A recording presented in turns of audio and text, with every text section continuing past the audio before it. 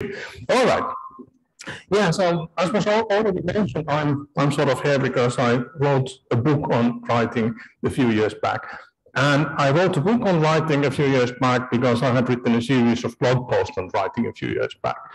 And I have written a series of blog posts on writing a few years back because I kind of wanted to get some sense into the process of writing. I was sort of struggling with helping my students to write. That was the starting point. That, and when I had a PhD student who, who should start their first or second paper, then I didn't have very much to give them other than, yeah, start writing, read papers, mimic them. You know, there's an intro and then there's, there's results and all that. But I couldn't really teach them.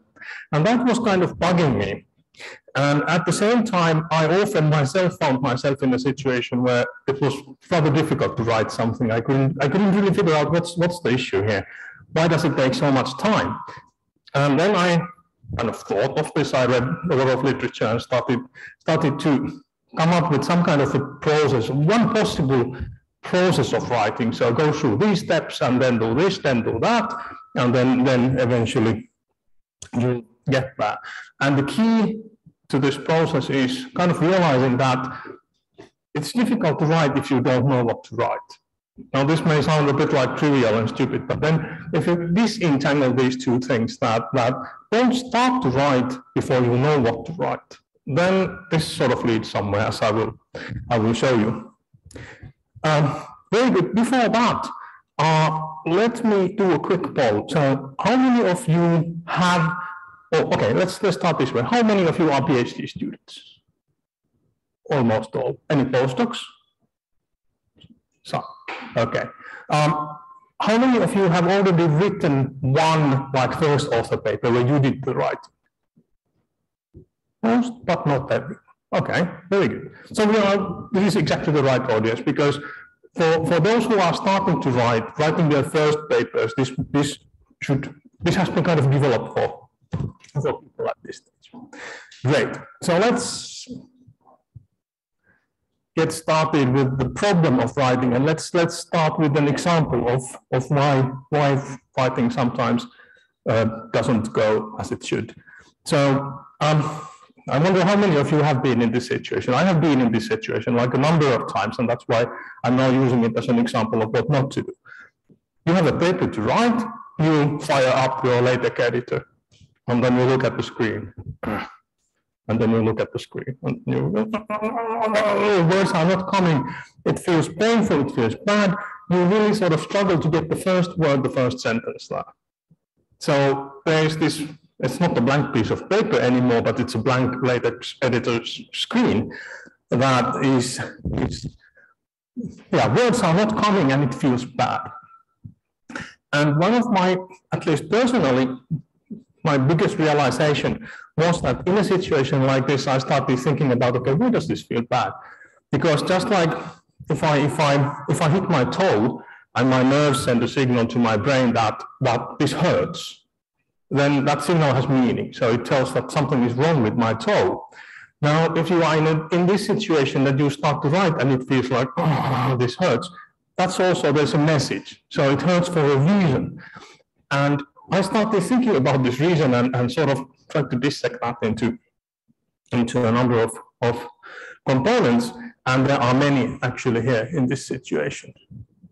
Now, this is one of the main problems of writing and one of the main problems of inexperienced writers that, that um, you try to solve a gazillion of problems at the same time. So if, if you just, if your first thing that you do when you start writing a paper, maybe you have some figures, that's that, uh, maybe you have some results, but then you just sort of open your editor. It's this that you try to solve these micro level issues together with all those macro level issues at the same time. So in order to write the word, you should know what word to use, but to choose the right words, you should know what the sentence should do, what, what's the sentence about. To know what the sentence is about, you should know what the paragraph is about. So what sort of information am, am I trying to convey in this paragraph? If you are writing the intro of the paper, this is difficult if you don't know what the whole intro is about. So what's the flow? Where do you start? Where do you go? Where do you end? And you can't do this well unless you really know what your whole paper is about. Because if you, as I write in the introduction, it's difficult to do unless you know where to focus. What, what, what should be the point of the introduction? Where should you lead your reader? And trying to sort out all these at once at the same time is impossible. This is my, my thesis here. And that's why one should start from the end, from the biggest top level issues, and only then gradually work down towards the, the uh, sentence and word level things. So in one sentence, how to write a paper, my answer is from top down with planning and thinking. So first think and then write. First decide and then write about what you have just decided. Um, if you split this idea into sort of compartments or a process chart or a flow, then roughly I'm going to today follow this, this uh, system, this approach here, where first we spend some time on talking about how to develop the story of your paper, how to, how to choose what the paper is about, what message it should uh, bring. Then we'll talk about a bit finer details, like once we know this, once we know the story, then how to how to basically uh, put that story in the form of a paper with the usual sections, uh, starting with introduction, ending with discussion. How to plan those sections, what goes in, and how to how to how to kind of create an outline that helps you write in the end. And you only start writing somewhere here, so you, you don't you don't begin with writing words, you begin with planning. And then once it's done, then there are some some small things left. But let's start at the at the beginning. So developing the story of the paper. I'm using the word story in a way that um, I'm not talking about fictional stories, as you know. Paper should not be fiction. You should not write, invent things uh, that are that are fictional for your papers. But there should be some sort of a story, an arc that the readers can follow. That begins with the question and ends with an answer to that that question. And this is the starting point. Before you write the paper, you decide what your paper is about. And you try to express this in a couple of sentences. Uh, if you have very many results at hand, which sometimes happens, you do a lot of analysis, you have analyzed the data set, you have 15 figures, um, and you should now write a paper about that. So how to deal with this? Pick the best result sort of shape the other results around it, or if you can't avoid it, uh, make the point of the paper to be the synthesis of these 15 figures or something, but you will need to somehow express this point of your paper in a few sentences. If you can do this, it's extremely helpful. It's kind of compression of, of information. And this is kind of not at all about shallowness, because you could think that, okay, should I then just tweet my papers? That's just a single tweet. Uh, not, not like that. If you think of many of the key scientific results and ideas, they are like this, that you can express them in a few sentences. Um, you have space-time, it's curved by mass. Um, if we think of some of the early complex networks literature, uh, there's preferential attachment, that's why we have scale freeness. That's a paper with thousands and thousands of citations. Um, or another, which, which should I pick, another sort of um, key complex networks. Okay, if you have scale-free networks, then you have zero epidemic threshold. That's another paper, very famous paper. So good papers deliver a point. They don't try to sort out all the problems of the world, but they try to answer some specific question or make some specific point. And once you have decided this point, it's easier to write the paper because you now you kind of know the target. If you have decided your point, then the rest of the paper is simply making this point credible so that you show evidence that is true, it's correct, this is what what really happens out there in the world. It will also be easier to read this paper because as a reader, this point will you will see it in the abstract. You know, oh, okay, this is what this paper is about. Now I just sort of follow it and I already know where it's going, instead of having to sort of wonder at the beginning that where does this all lead?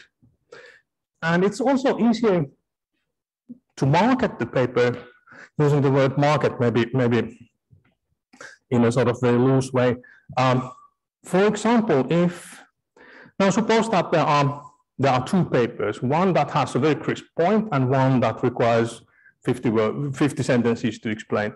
And if you talk to your, a friend of yours or a colleague that, hey, did you spot this paper on the arXiv today that did X?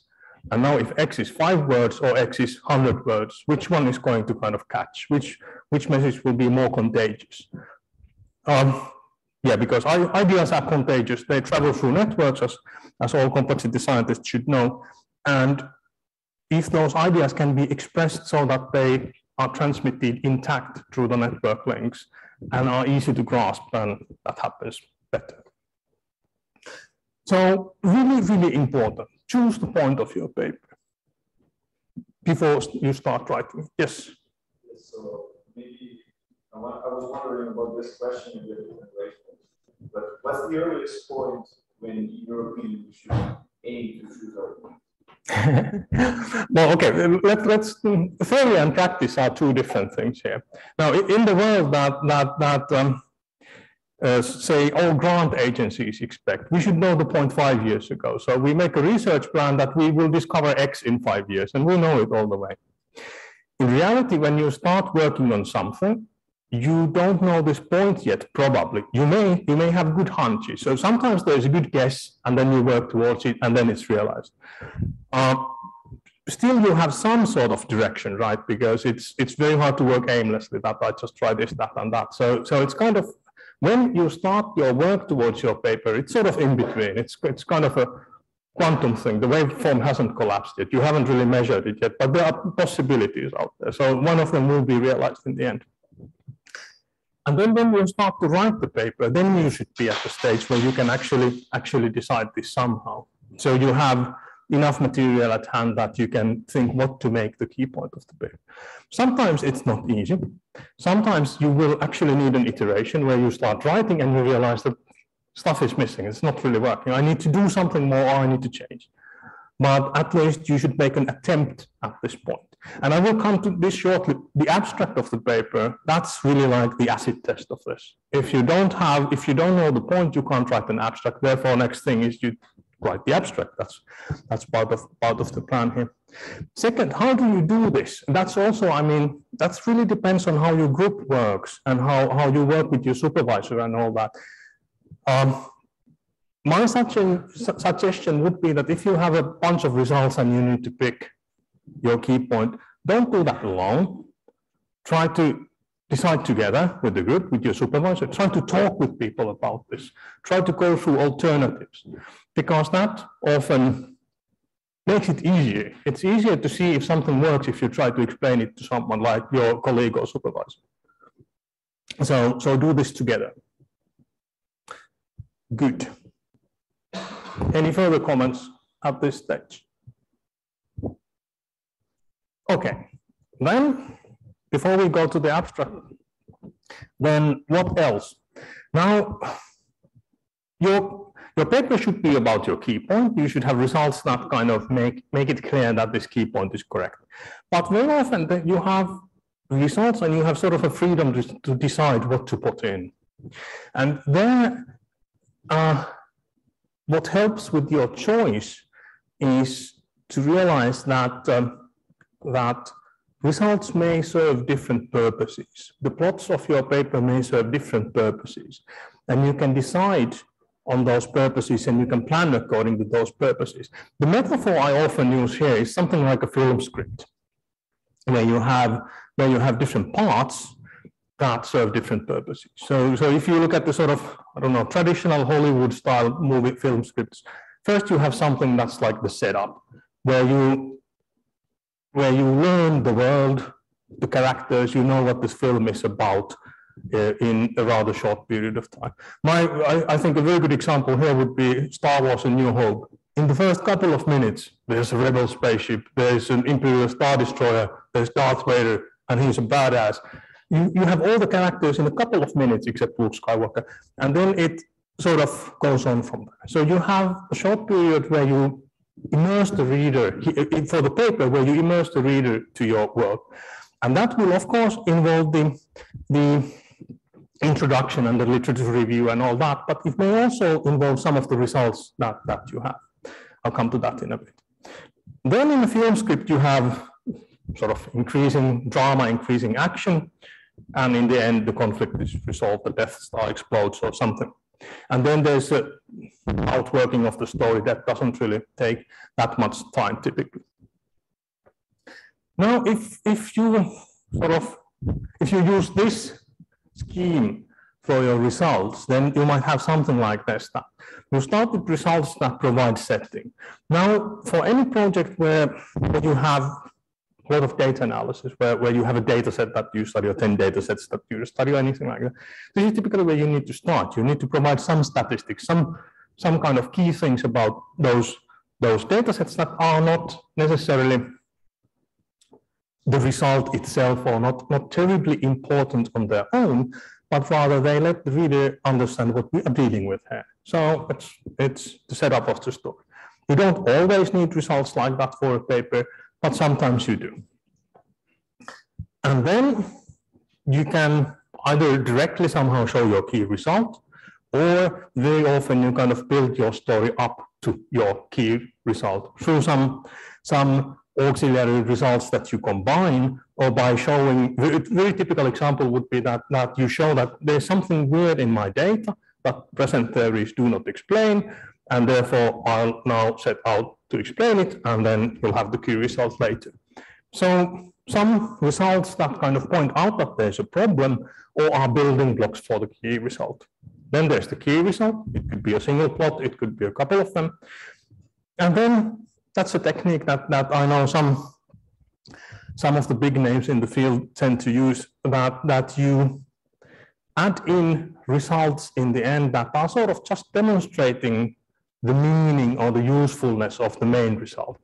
A bit like application of the thing that are not necessarily very important on their own. They are more like not schematics, but examples that, yes, I figured out this. Now look what you could do with that. And then some examples. So some sort of results that, that are like the epilogue of the paper. So this is one way of, of mm. shaping your results. You can there, there, there must be others, there, there must be several ways, but the key thing here is that you think of a role for your results in the story that your paper paper has, such that the key result is the thing. The point of the paper is really visible. And if you have results that don't play a part in this story, then toss them out, put them to the SI or something else. Don't, don't force your paper to have results that are not necessary.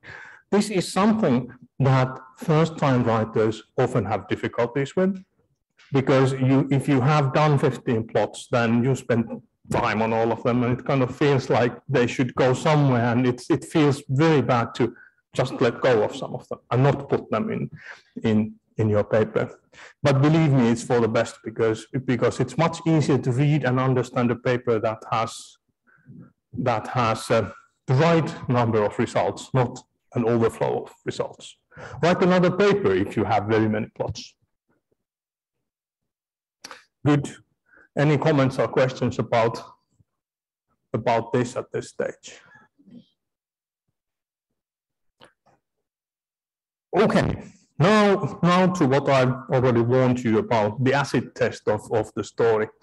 Now suppose that we are at this stage where we really have chosen what the paper should be about, its point, and we have chosen what goes in, all the results, all the plots, or at least have some sort of a fairly good idea of those. Now let's try to write this up. So before writing the paper or before even planning the paper, a typical step in my process is that now it's the time to write the abstract. Very many people find that this is weird or that this is this is never done this way. You write the abstract when the paper is done and then you go and you write the abstract about the paper. I always try to do it the other way around because I've, I've really seen that this helps, at least me as a writer, if I myself write the paper, this makes it so much faster that I first spend a couple of days even on the abstract. And then I understand that, okay, this is what my paper is about, and this is this is its meaning. So yes, once you've done this, you, you realize that it's it's a very good good thing to do. And really, the abstract is your paper in a very condensed form. And in addition to your results, it now also has the context, because that's what a typical abstract, we'll go to that next. It has the context and it has the implications. So it's a bit broader than, than just the key result and what results go in. It kind of completes the story by telling why all this would matter. So how to do this? How, how to structure the abstract? Uh, you can do that in many ways and it depends on the journal and depends on what, what's the sort of common abstract length for the journal. Um, we always, in my group, we always start with this structure, which is like an hourglass, which is typically what abstracts are like anyway. So you start with the broad setting. What are we talking about here? What's the domain of science, or what's the field, field, or what, what's what, what's the sort of, yeah, what kind of problems are we dealing with here? Now, this is of course a bit different from depending on the journal. So if you, I don't know, if you write write to applied network science, you don't need to tell what network science is about. But if you try a paper to get the paper in some sort of more, I don't know, PNAS, you need to start a bit higher. But you need to start with the broad setting anyway. This is kind of the setting. That's that's the first three minutes of Star Wars. So what's what's going on here? What's what's the world? What what are the conflicts in this world? What it is? What is it that we are set out to solve? And then you move closer to your research question, the key point of your paper. And then finally, you state that question. And this is a very good exercise. So what exact problem did you set out to solve? And this is something that over and over again, even with very experienced people, even in the sort of science that that that that sometimes that us seniors to do together. At this stage, we find that uh, I'm not sure what was actually the question. What did we try to sort out? What's what what's the real research problem here? Because sometimes it kind of gets lost when you get so many, you do so many calculations, you analyze so many sets of data, and it kind of gets lost there. So it's very good to go here at this stage to go back to that. What is the problem that we are trying to solve? And then how did you solve it? So what, what was the outcome? And then what, how is the world now a better place because you solved it? So what, what consequences does this solution of yours have? And then even, even more broadly, uh, than, than in your immediate sort of field of science, what, what things can follow from your abstract. And it's actually really not, this, this um, form is really not like unique, it's, it's used everywhere. And actually, if uh, most of us are not like writing nature papers on a daily or weekly or even a yearly basis, but if, if we would, then we would have to write it this way because that's in their rules. So if you want to submit to nature, they have a strict script for the abstract that you have to follow, sentence level. Otherwise, you are desk rejected that you didn't follow the rules. And you and if you then analyze what this and this script of theirs is, is exactly the same. So first you have one to two sentences that provide a basic introduction to the field, comprehensible to any scientist in any discipline. So they, they are a journal that with wide readership, they want to start broad. And then we go to more details, two or three sentences of more detail, and so on and so on. So this is really what you have to do for, to write uh, a nature or, or, to submit a nature paper. But this is such a good form that, that I would highly recommend everyone to try to use this, maybe with modifications depending on your, on your journal for every single abstract. Because if, if you write an abstract that follows this logic, it can't fail. It has the right elements in there. It will be good.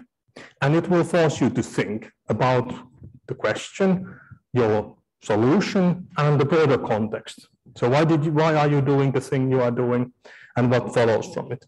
So this is a very good, very good exercise.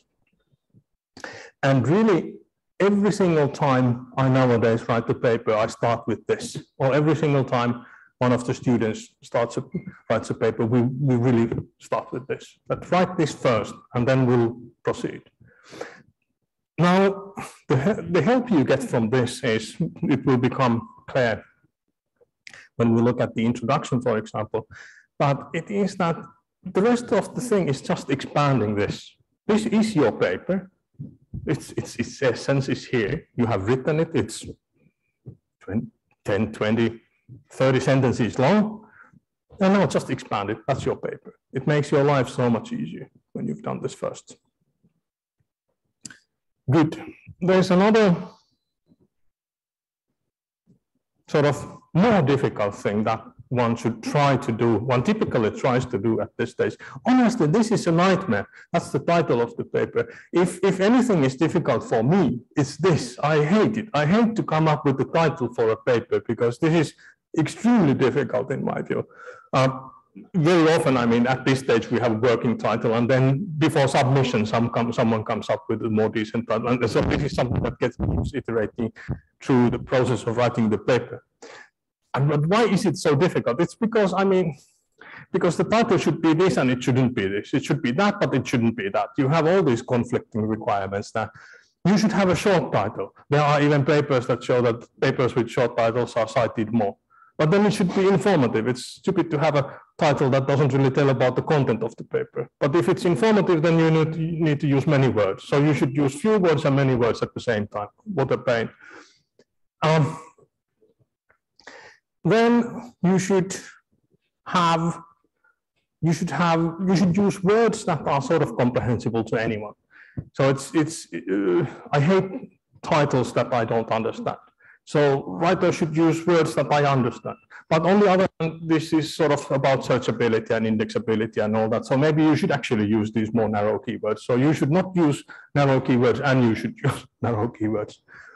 And then you should have a title that's kind of catchy. That's easy to remember, but it shouldn't be stupid. It shouldn't be sort of ridiculous. So everything at the same time, conflicting requirements, is difficult. Um, but still, sometimes people succeed in that. And, and, here I want to do a little poll. So I picked randomly from, from one nature uh, issue of Nature this year, a couple of, couple of uh, example titles. Can you see them even in the back? Should I read them? You can see them. Okay, so audience comments, spend a couple of a couple of minutes reading them, and which of them are good in your view? What what what of which of them work well? So let, let me let me hear from you.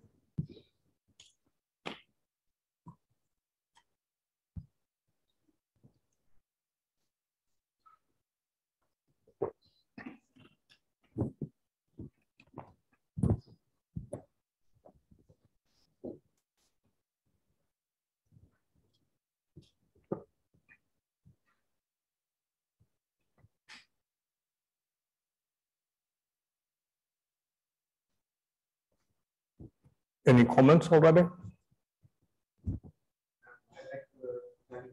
Yeah. Yeah, exactly. I, I love it. And it's sort of just tiny. I mean, who, who could not love tiny beetles and flying? So it's, yes, perfect. It's easy to understand. It's somehow, yes, it's, in my view, that's also, you, you can't have a better title than this. It tells about the result. It tells about what you study, which is the tiny beetles flight and all that. So everything is in a single, single sentence. It's, it's just beautiful.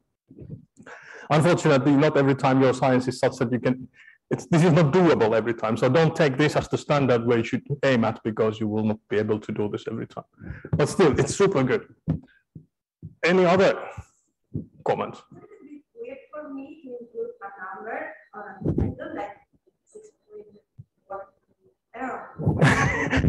Yes, now, I, I agree with you. Or like I don't like much words third one is hard yeah. And the difference with the first one that actually has this redshift and has these numbers is also that it is it is about that's, that the title is the topic. It's not the result. The tiny beetles thing tells the result, right? But that's the topic of study. So this is what they study. And I think this is probably, I mean, if you are a cosmologist, then yes, this is exactly what we study 3.34 for, for redshift. Yes, that's what we want to do. Everyone else is like, what? And it's a nature paper, it should be comprehensible to everyone. So they didn't follow their own rules there, I guess. But so, yeah, that's not a very good title in my view. The beetle one is good. Uh, then the malaria thing, it's sort of, it has more difficult words than the beetle thing, but kind of it's the same, that it tells a result, that something depends on, on something. And which is also the, the, the fourth one. And that's absolutely incomprehensible unless you know immunology. I've done some of it, so I understand this is a good title for immunologists, but as a general title, it really sucks because, because you will never be able to understand what all this means. There are words there that take like one paragraph at least to explain, and even then that's difficult. So it's, it's really jargon. And then the physics title, fifth one, again, it's like a topic, right? It's not the result. It's, it tells what they study which kind of, I haven't read the paper, but to me that would implicate that, okay, so if you don't give out the result, so that means that this paper is about everything in there. So, so domain wall dynamics, after reading this paper, you know it. You know everything that there is about domain wall dynamics in Bose-Einstein, which again makes these titles not that good unless for that specific field, if it has been like a long-standing problem that everyone knows that if you write a paper with this title, then you've solved something. So it might work, but. Yeah, I like the last one because there are two ingredients in metric, key domain and key ingredients. So what are you measuring on what model and with what modification? Okay, correct. Yes, fine, fine. Yes, yes. So it's info again, it this depends on your level of knowledge, right? So it's very informative if you know these things. And and for for for PRL in that field or anything that's probably absolutely perfect. For a sort of more broader readership, a bit more difficult. But. Good. Okay, but some, yes. So now, now you know how others' titles look like, and then you may kind of think, consider the same when you write your own paper's title, that how would this look like to someone who, who doesn't really know all the things I do. And if possible, if you can, I think this is a good idea, if you can make the title to be the result, try it. It's not always doable, but it seems to work universally that it's that it's it's uh, useful. And this really, if you have done what we started with, condense the idea of your paper into a single sentence. If that's short enough, then yeah, that's your time. Very good. Okay, let's keep keep on going. We have more ground to cover. And then let's go to to the next part. So now we have the key things there. We know what what we know the point. We know what results do we want to put in. We have an abstract, which is the story in a miniature form. And now let's start thinking about the rest of the paper. How do we, how do we get that done? Um, the thing that I'm advocating for is to, again, have a plan because it really, really, really helps.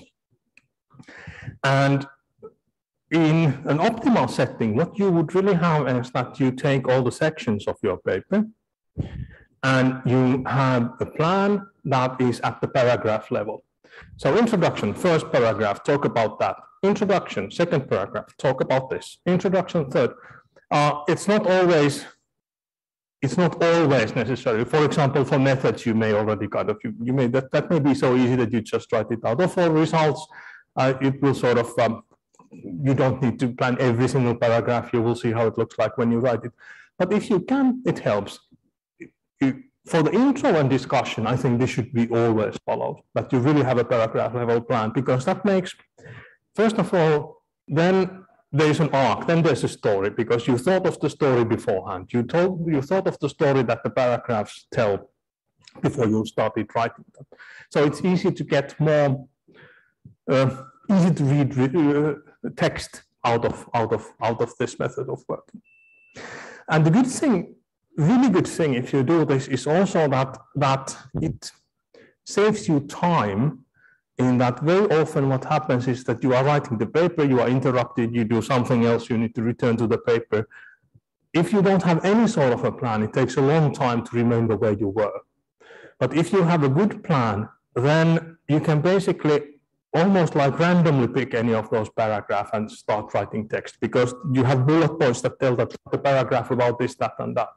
So it's much, much easier to be interrupted and much, much, much, much easier to, I don't know, spend extra 15 minutes somewhere writing your paper if you know what to write in there, that you don't need to spend these 15 minutes remembering that, that I'm here, where was I going?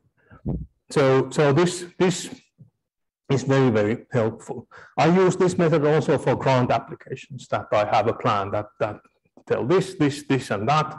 And then when I go back to writing, I can immediately just pick one of the paragraphs and start start filling it, filling it up. Good, but let's let's move on so that we can cover cover everything.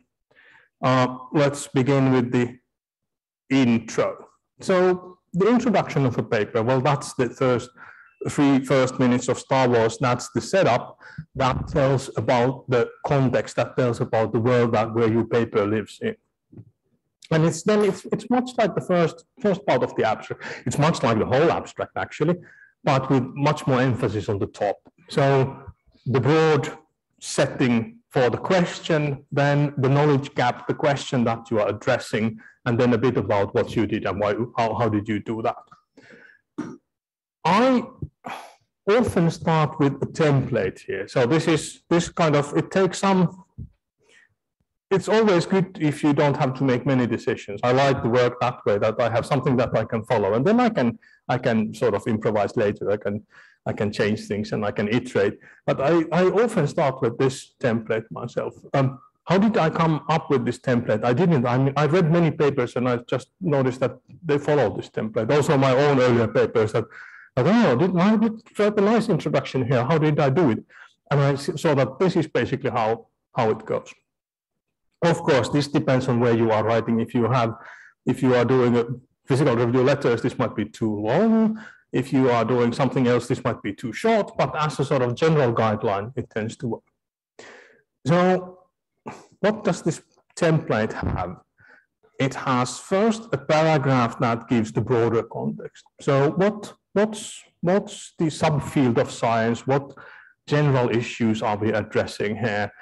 Uh, it's where you start with by citing this kind of key papers in this field or, or provide a lot of context through citing different different uh, papers. But it should also already kind of at least hint at the knowledge gap or the question that you are about to ask. So it's like this has been done, we know this, but this is a bit less less known. Then the second paragraph is something where the goal is to arrive at your research problem at the end as the last sentence. So the last sentence of that second paragraph tells that but it's however this remains entirely unknown. And then the point of that is to arrive, the, the paragraph is to arrive from the broad context to this sentence that tells that however X is still mostly unknown. And then this far you have been talking about what others have done. So citing papers, citing discussion in the field, maybe your, in the future your own papers as well, but mainly, mainly what others, others have done. Now, the third paragraph kind of reverses the point of view that we just arrived at this question, and now let's tell what I did or what we did to answer that question. So this third paragraph might begin with, to this end, we have investigated X, blah, blah, blah, blah, blah. That directly kind of talks to the sentence of the previous paragraph. However, we didn't, we don't know this. Now we do something about not knowing it. So it tells about your, your uh, research. What's your approach? What's the question? What's, what's the research question? And then one more paragraph that's kind of a quick recap of, of your results that we found out that but this and that and that and that. So this is a typical typical design that that uh, works pretty well. Uh, and it's there for many PNAS papers, for example. I've used that for such papers, and and and we, we have now for the paper several papers that I'm now working on. The same template is being used, and it seems to sort of it makes writing easier because there's a skeleton that you don't you have to follow. You don't need to decide everything, and it provides the right right things in the right order. So there's clarity, which is super important. Um, questions or comments at this point? Okay, moving on. Uh, methods. Now, this is nowadays a bit of a nightmare because there are so many journals where you have methods at the end, but then you have to have some of the methods in the text as well, and it gets all sort of pretty complicated. Nevertheless, your methods are successful if this is, is the case that someone can reproduce your findings afterwards. First of all, this is important for the integrity of science and scientific methods, and that, that someone should be able to check whether you are right or not. If someone, if anyone can't check whether you are right or not, then what's the point? And this is, this is a scientific result or not? And very, very, very often this is not possible. When you read, I mean, probably many of you have, have the same feeling that you've read the paper and you try to figure out what it is that they've done, and you try to get the details, and then you see that there is not enough information, not even after reading through this 25 page SI that you could actually replicate all this. So don't be that person, be the person who actually gives out all the details, plus the code, plus everything so that someone can, can replicate your findings.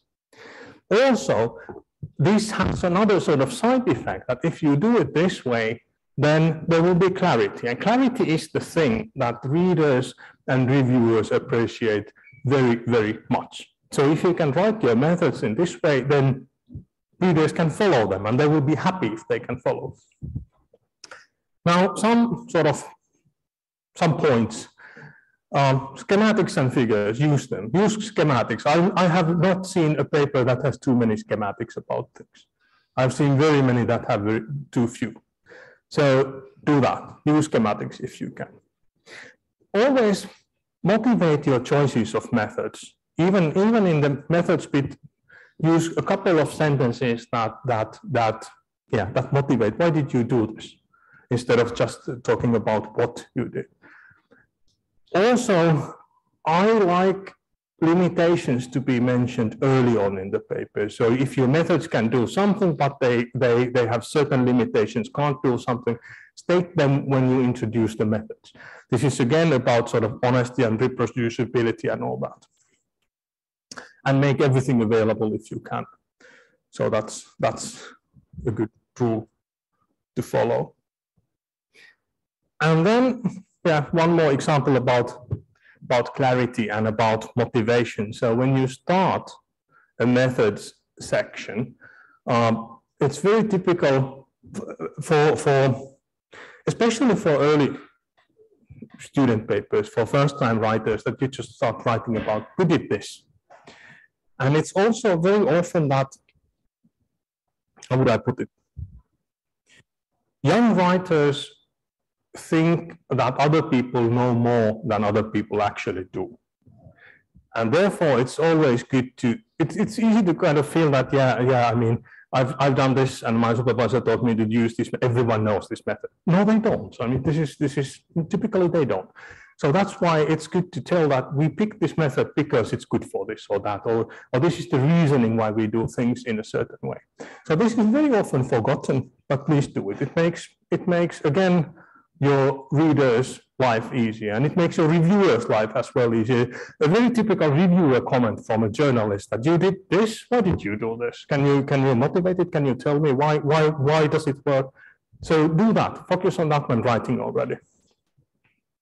And be nice to your reader because method sections always have a ton of detail. So so yeah.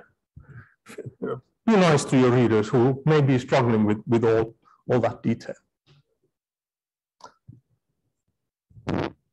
Good. Um, moving on. Results. Now, yep.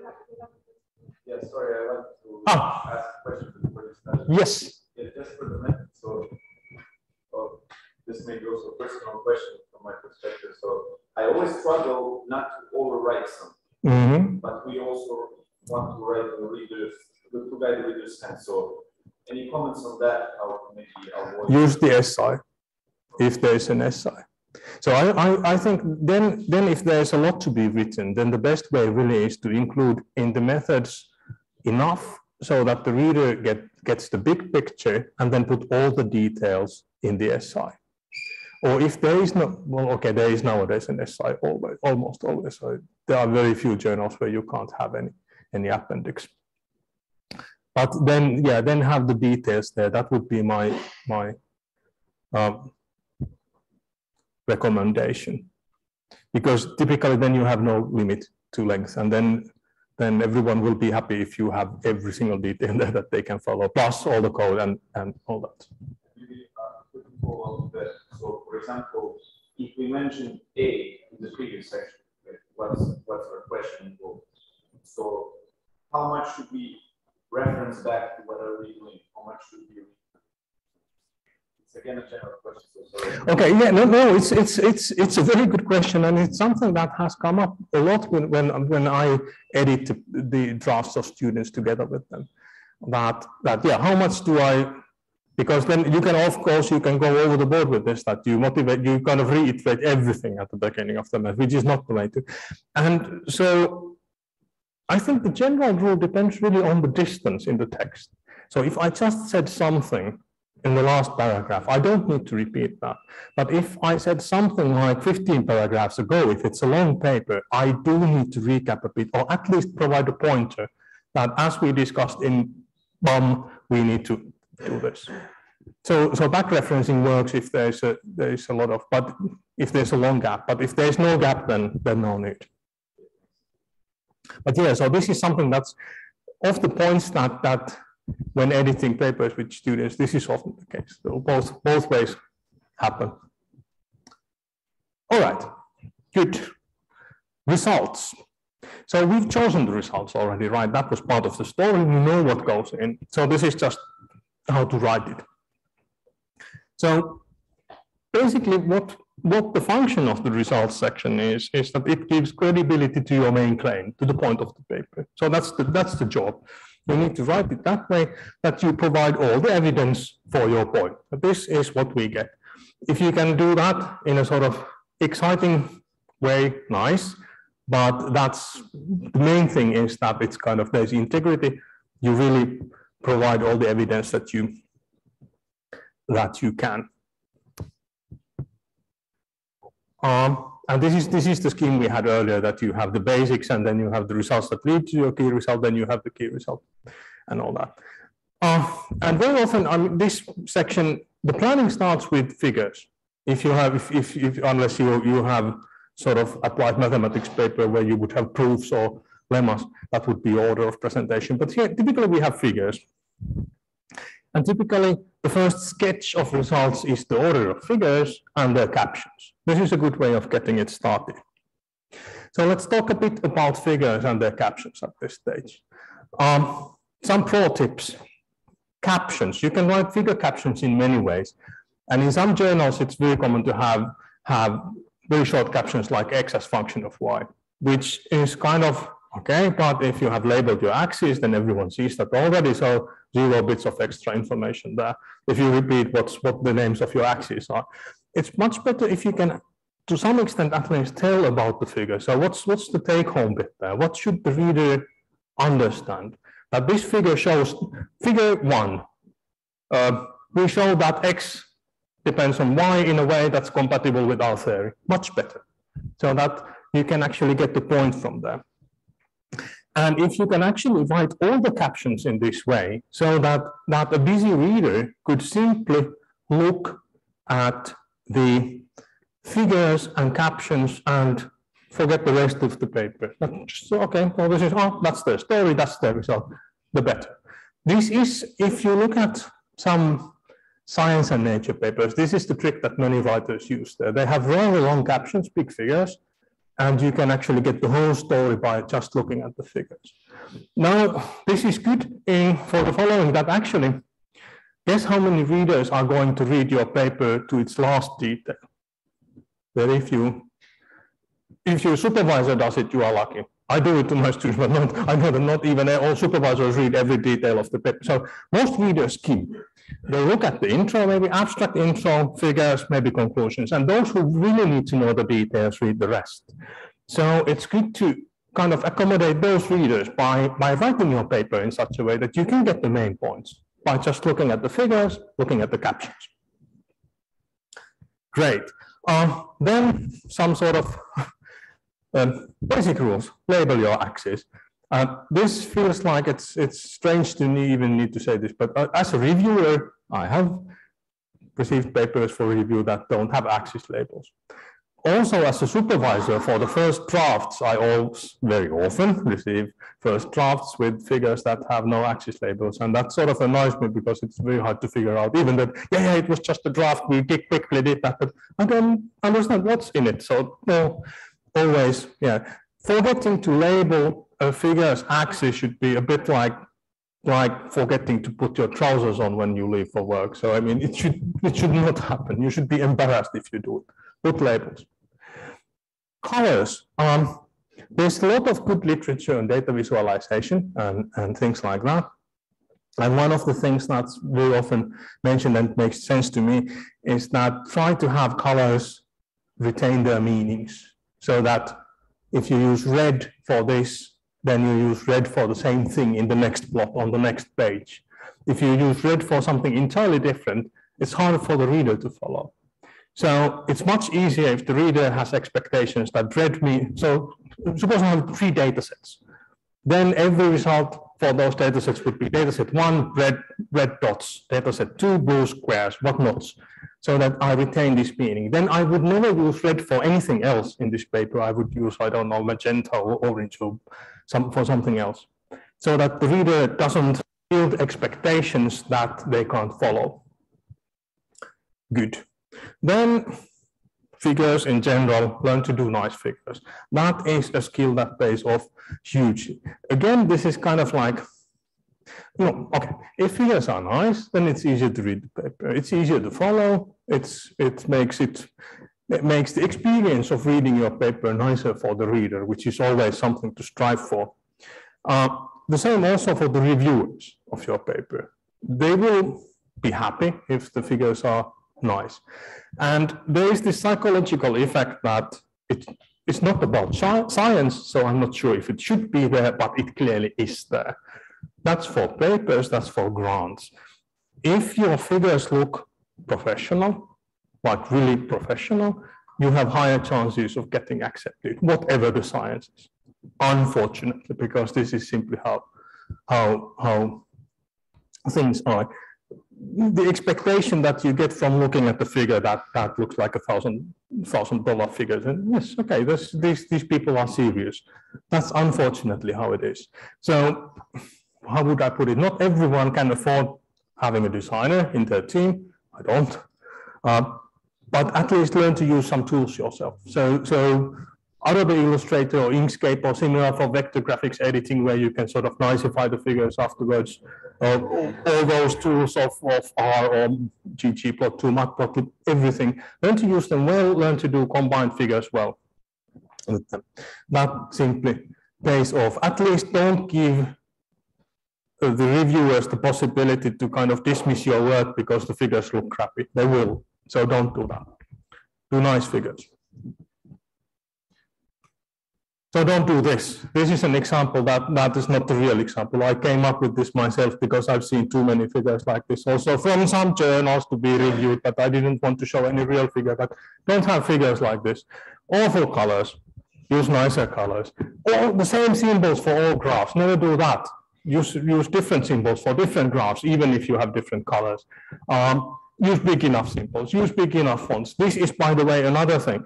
I've never ever gotten a draft or a paper to review from a journal where you have axis font label fonts that are too big. It has never happened ever. But very often I get this like six PT fonts that you you can't.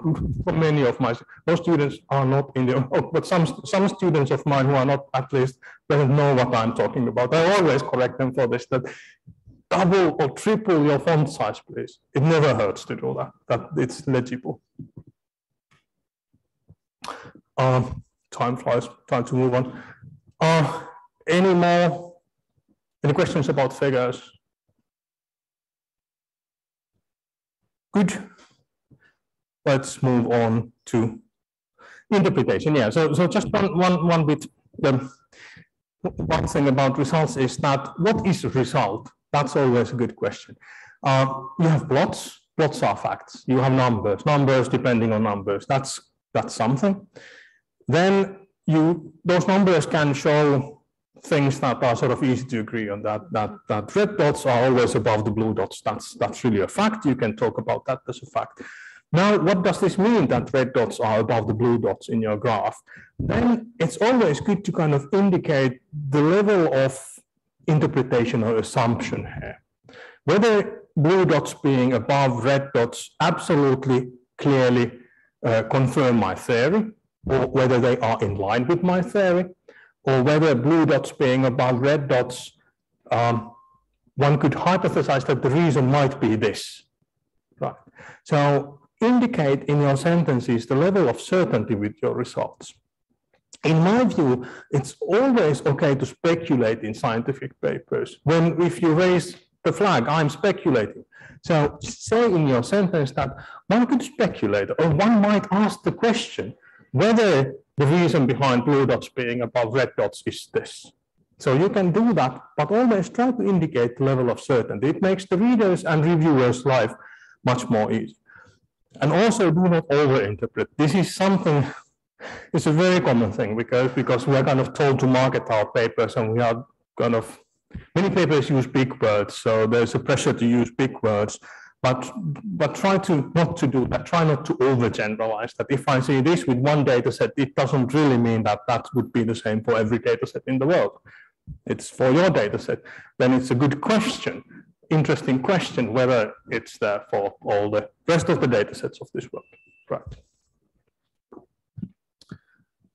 Um, one more writing tip. This is something I've, I've, I've done some work with people in various biomedical fields, neuroscientists, immunologists. Uh, they have this way of writing results such that you use subsection titles that are individual sub-results a bit like if, if your key result would be the title of your paper, then in the results section, you have sub-results that are, are like uh, subsection titles of your paragraphs. This is not always doable for something that's sort of very mathematical formulas interspersed with, it's, it's not always doable. But in some, for example, for many data science papers, this works well. So that brings a lot of clarity to the results section that if you write uh, sort of sub-result, subsection title, explain that result, move on to the next one, use the result as a title. Good. Uh, about half an hour to go, so let's let's move on. Discussion. Um, okay. This is a difficult part to write. And also this is difficult, it's difficult to give any very general recommendations about the discussion section because here, if anywhere, there are really like field specific differences. In the same biomedical fields, for example, you should not interpret results at all in the results section, but you should have a discussion section for each result separately, which makes writing a bit harder because there can be five pages between the result and its interpretation in such journals.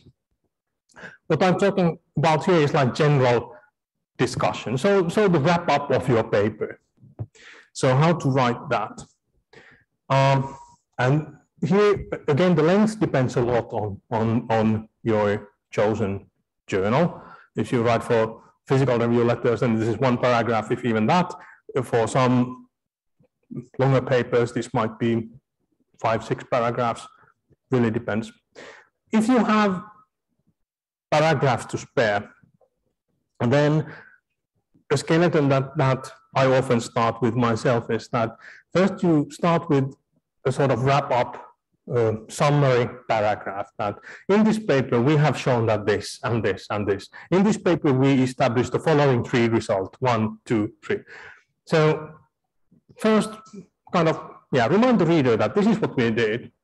And then maybe you start talking about each of these results or each of their implications with, with single paragraphs, or the doors that they open, or the additional questions that they, they raise, so that you have one paragraph for this result. What does it actually mean? Uh, is, is this result completely general? Are there some limitations? Are there some new questions that, that uh, come out of it?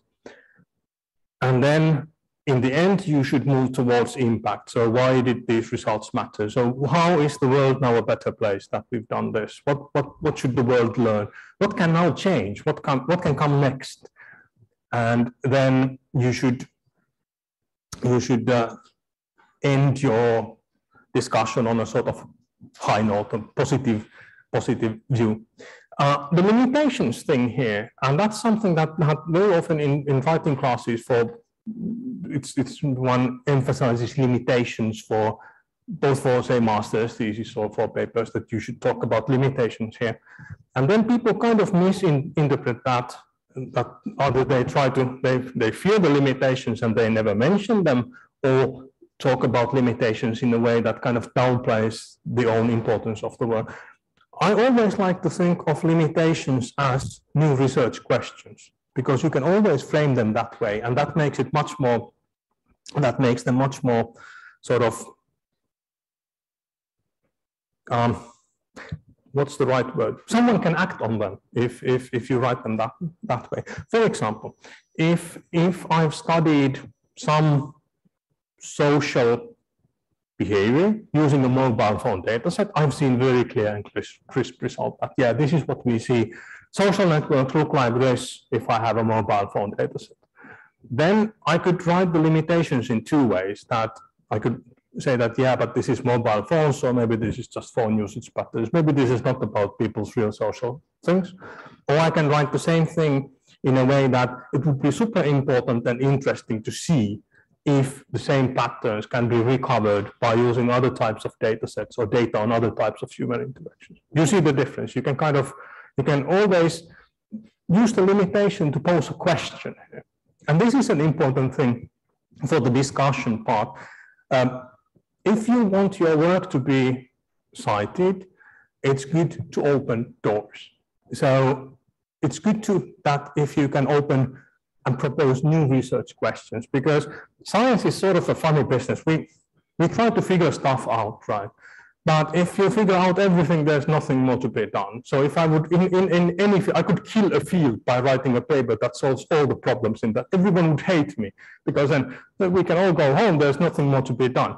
But if I write a paper that, that in the discussion has 10 questions that are there for studying, so other, other people can go and grab those questions and stuff, everyone would love it. So do that in your discussion section. Open doors, ask questions, propose projects based on your work, then then that will then then you are going to have a scientific impact.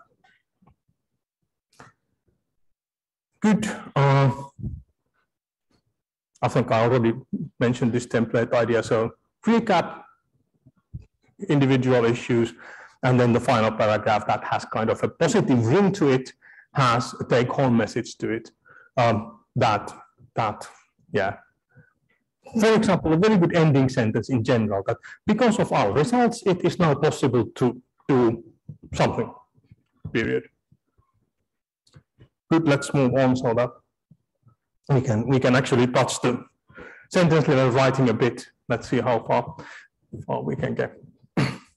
okay, we have a plan. We've gone through all the sections, we have gone through the figures, we have an abstract, some sort of a title. Now it's time to start writing. So, so I've spent now like an hour talking about planning to write. And this is exactly the right thing to do when also in your project. Use a lot of time to get to this point and now start to write. Don't start it too early because it will feel painful. Here it's easy. You have a plan for every paragraph. Good. Now the thing is, and this is the most difficult thing to do this quickly. So take your outline, write the paper quickly, like not spending time on individual sentences. Sort of trying not to be critical, self-critical at all. I know this is very difficult. It's difficult for me, it's difficult for everyone. But the more you, more you learn to do it, the better, because it's very easy to edit text as compared to writing new text. So write a lot of new text as quickly, crappily as you can, and then start editing it. That's much faster. Because it's scientists are always sort of perfectionists in one way or another, and we, we wouldn't be like this. We are we are we are nerdy in that way that we can really start thinking about ah, but this second word of the sentence it could be better if it would be like this, or does this my first sentence make this point? Try to overcome that. You spend too much time on individual sentences, it's wasted time because you will edit them over and over again, and with a high probability you are going to delete those sentences. So don't do that. Quite quickly.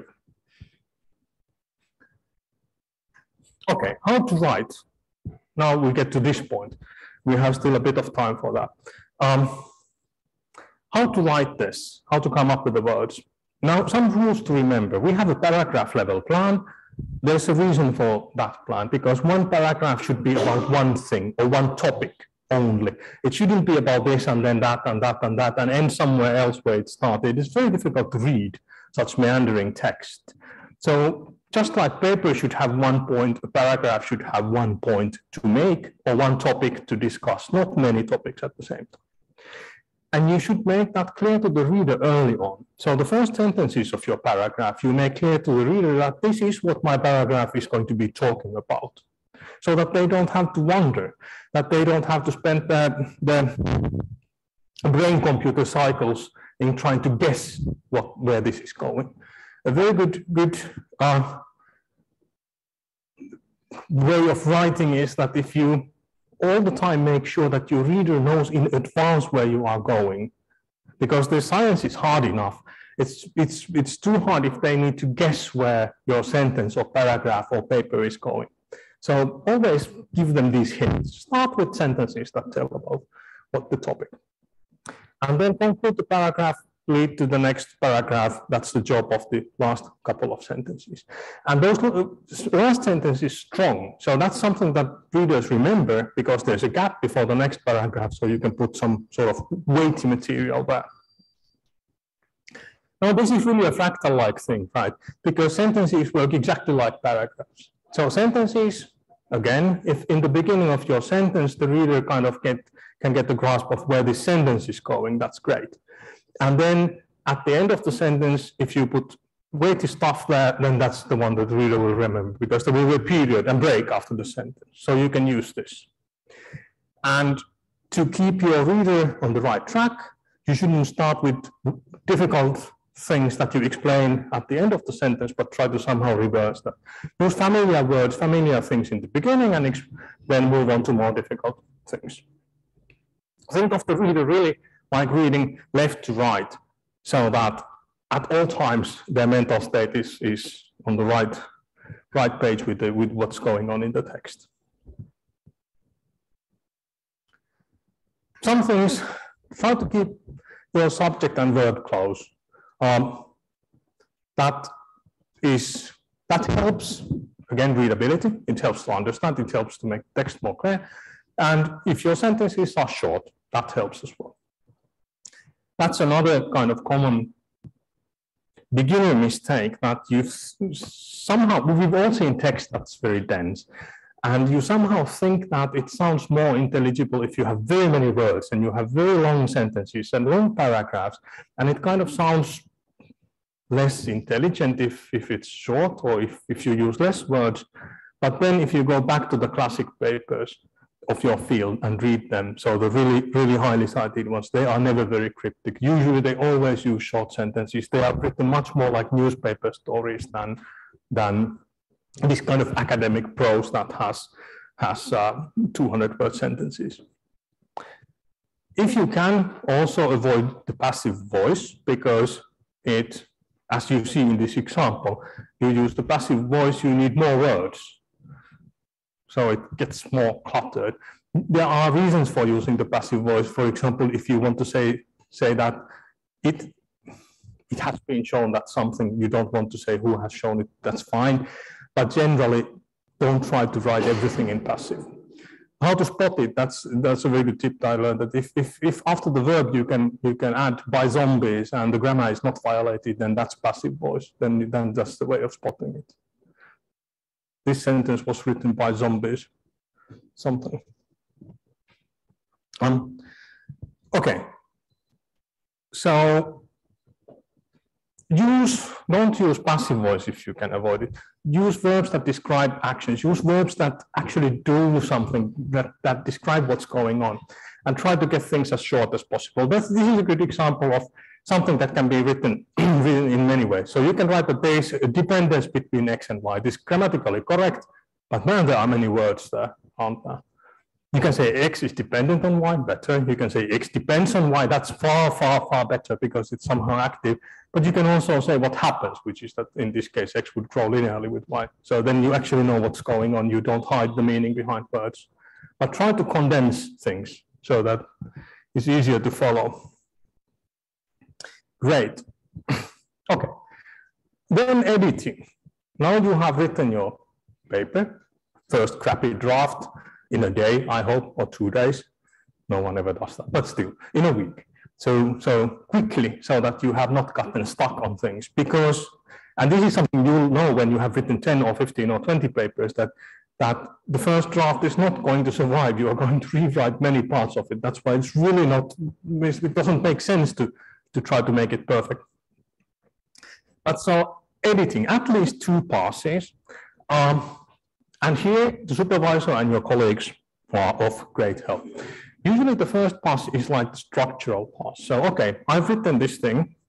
Now, does it have the right elements in the right order? Can someone make sense of it? Does it read well? or is there some other some structural issues? Are there things that we should add or leave out?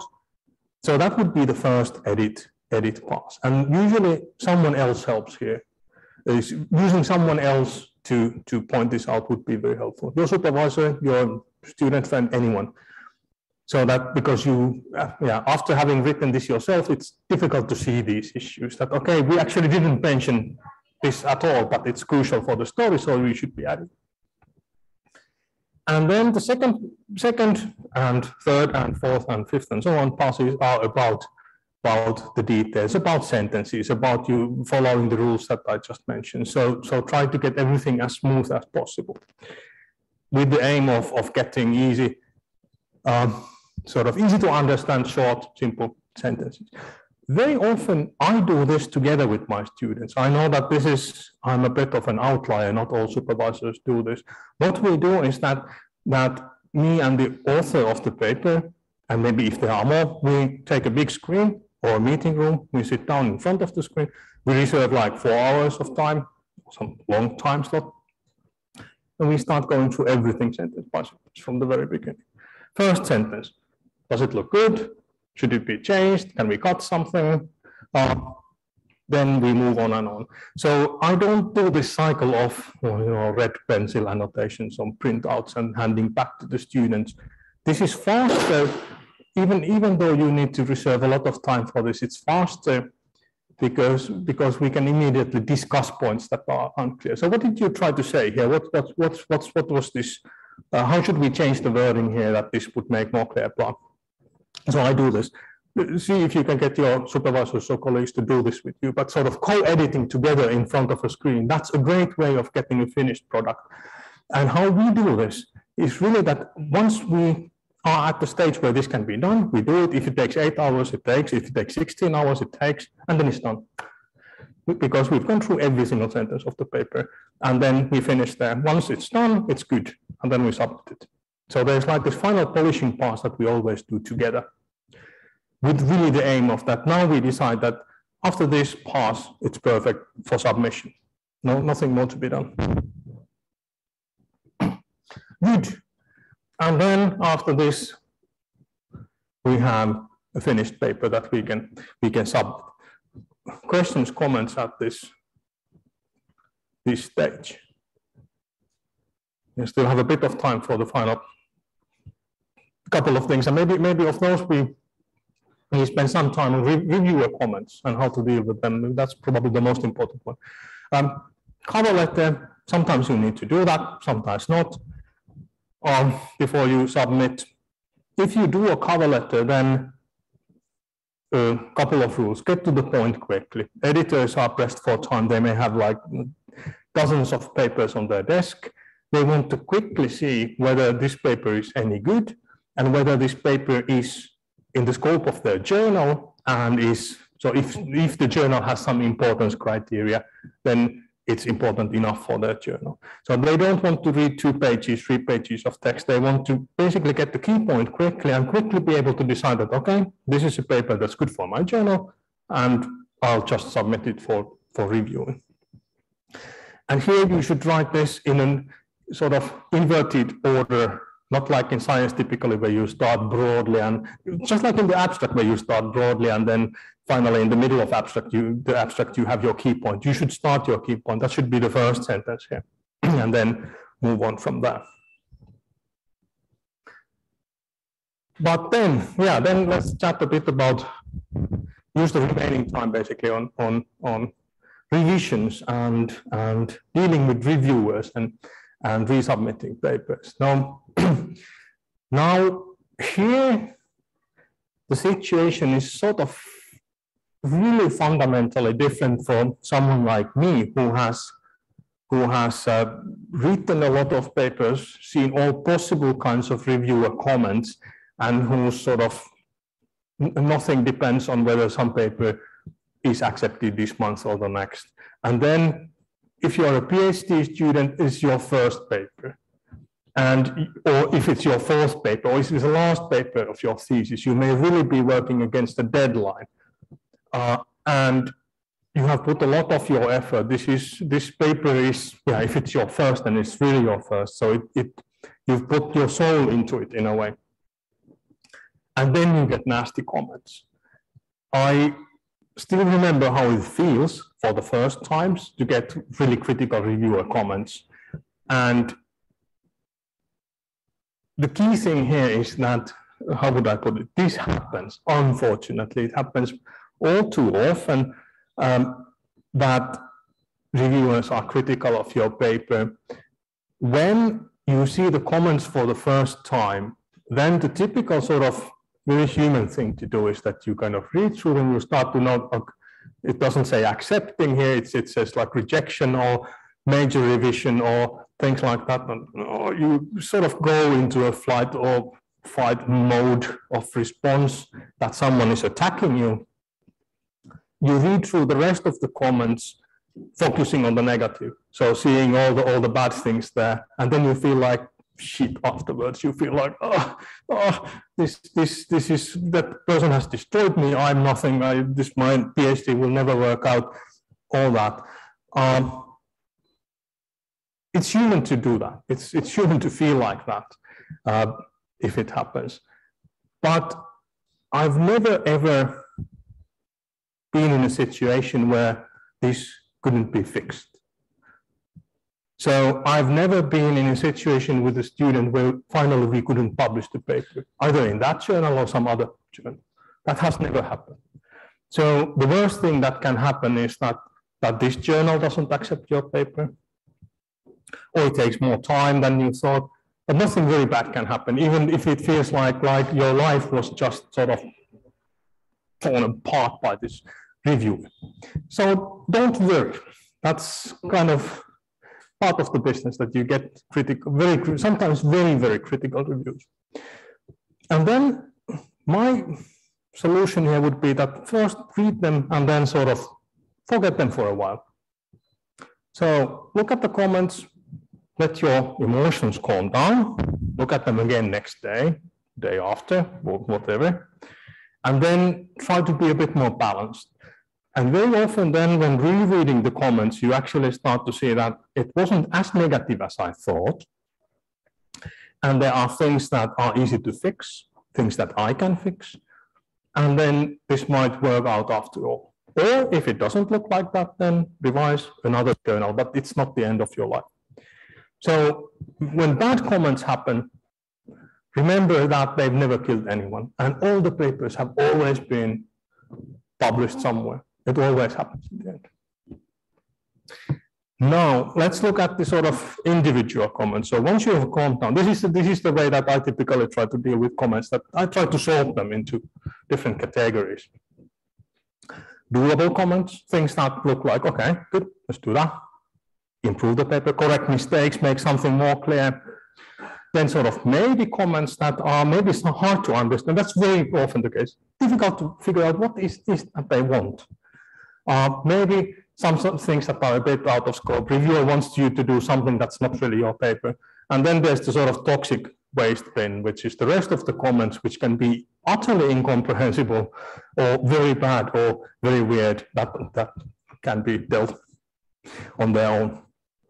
Very often we do something like, I don't know, Google Sheets with all the comments and then grading from red to blue, uh, red, red to green, what, what, what sort of level of difficulty. And then then the next column would be that what, what will we do about this comment? And then start sort of methodically taking them into account, how to, how to deal with them.